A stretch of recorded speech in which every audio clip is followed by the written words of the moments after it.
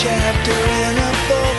Thinking back to younger days As I escape in Cooper's break Takes me back to 84 The future's not